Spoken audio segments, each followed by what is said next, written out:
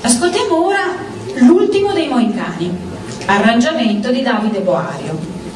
L'ultimo dei Moicani è l'ennesima trasposizione cinematografica del romanzo di James Fenimore Cooper e di sicuro l'opera più conosciuta al grande pubblico.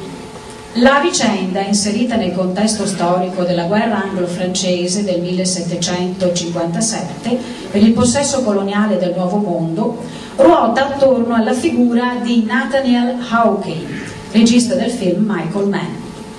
Le stupende musiche composte da Trevor Jones e Randy Ederman hanno un commento sonoro di rara efficacia e di lodevole incisività, che esalta tanto il tono drammatico, tanto quello epico e romantico della pellicola.